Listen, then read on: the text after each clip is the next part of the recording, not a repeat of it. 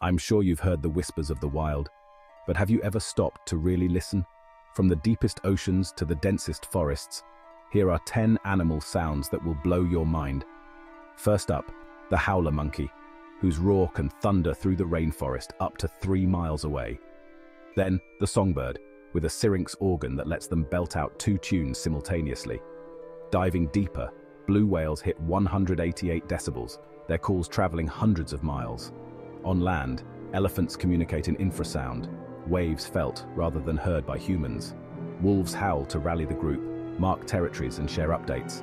Ever heard a chainsaw in the forest? That might be a lyrebird, mimicking anything from birds to mechanical noises. Dolphins whistle and squeak in what some believe to be an actual language.